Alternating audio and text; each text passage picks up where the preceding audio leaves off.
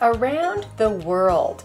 For me, I started thinking about all of the different time zones around the world, and I found a great stencil and created an around the world box. This box started off as a yellow and blueprint box, and this stencil is what I used to give it a whole new life with a stencil design with texture paste and stamp and you can see here is my around the world reminder. So I can tuck little uh, mementos into my around the world box. I'm using my tulip soft paints to paint and I'm using my Aleene's True Snow to actually do my texture work. So let me show you how this is done. Crafters Workshop has the coolest stencils and they're really really detailed like the clock patterns here and it works great on this type of project. Remember how I mentioned to you that the box was all sorts of different colors before I started? I thought it'd be really cool if I used just a tissue box to show you how you can transform any surface. You don't need to start with just a plain piece of wood or a plain piece of cardboard to do this technique. The first step is to lay your stencil over the area that you want to add your true snow or texture paste and using just a palette knife work with the back of the knife and just run it right over your stencil. And it's a really soft touch. It doesn't matter if you get it completely smooth you can see I have some ridges in this and that's okay. And don't wipe it all off like this because then it becomes too thin and it's not quite as raised of design as you might like. And then just lift it right up.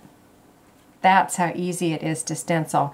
Be sure that you take and use your palette knife and wipe all of this off, put it back into your container, and then clean off your stencil because you don't want any of that drying in those spaces.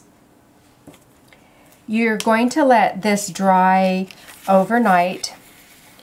When it's so thin, you may not even need to let it dry overnight. You can put a hair dryer on it to speed up the drying process. When the paste is thicker, you definitely want to wait overnight, but you want to be sure that it's completely dry to the touch. I did not have a brown paint, so I used my golden tan and my black ebony to make a really pretty brown. It's kind of a gray brown color. So remember you can mix up your own colors. And in this particular design too, it doesn't matter if your paints are mixed up completely because it also gives it an aged effect. And then what you want to do is just paint right over the surface. So as long as you have a paint that's going to cover in one coat, that's all you need and you can see that that covers right over the design that was on my box. So let this paint dry completely. Again, it may take a couple of hours. You can speed it up with a hair dryer if you'd like to. And once it's completely dry, what I like to do is take my rub and buff, and this is just gold, put it on my finger, rub the extra onto my wax paper, and lightly, just a really light touch, start running it right over the surface and that catches and highlights your raised design. Isn't that cool? There are so many different ways that you can use this stenciling technique to create all sorts of different designs on all different patterns.